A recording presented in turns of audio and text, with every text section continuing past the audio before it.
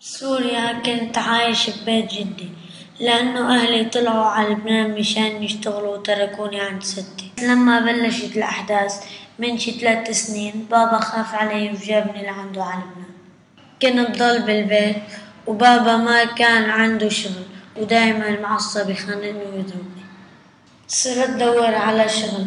كرمال ما ضل بوشه كل النهار. وكرمال أقدر أجيب مصاري وما آخذ منه شي.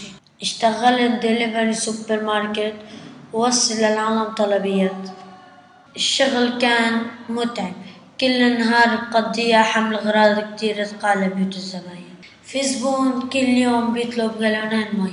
وكل واحد وزنه عشرة كيلو. بدي يطلعن على الدرج على الطابق الثالث والدرج كتير معتم يعني بوصل هلكان من التعب وبأصابيعي بيكونوا عم يتقطعوا من الوجع بس شو بدي ساوي؟ في ناس غيرهم بخانقوني إذا تأخرت وبيقولوا لي حكي بشع لما بيعرفوا إني سوري. وأنا بسمع وبتحمل لأنه إذا رديت عليهم بيخلعوني من الشغل. لما تركت سوريا كنت ناجح الصف الرابع. يعني لو كملت المدرسة كنت هلأ صف سابع. يا ريت لو فيني كمل تعليمي وأوصل على الجامعة لصير دكتور. بس أنا ما في أروح على المدرسة ولا أدرس وما راح صير دكتور وما راح صير شي.